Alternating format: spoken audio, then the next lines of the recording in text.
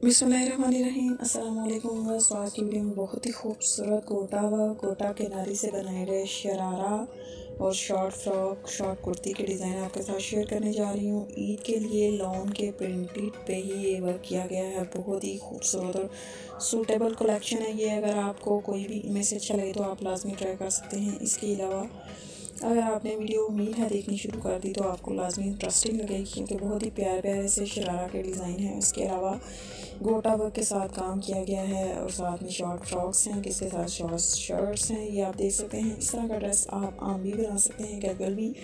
और इसके अलावा आप अगर इसको मेहंदी वगैरह पे ट्राई करना चाहें तो वो भी कर सकते हैं। ये आप देख सकते हैं कि साथ में जैकेट स्टाइल ड्रेस बनाया गया है डबल शर्ट के साथ।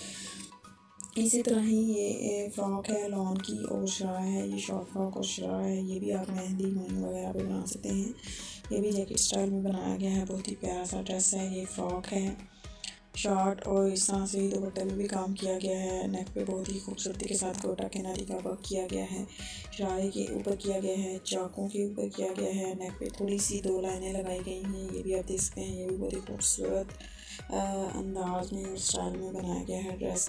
ये फ्रॉक आप देख सकते हैं अनरखा स्टाइल में बनाई गई है। नेक के ऊपर काम किया गया है, इसके अलावा नीचे घेरे पे।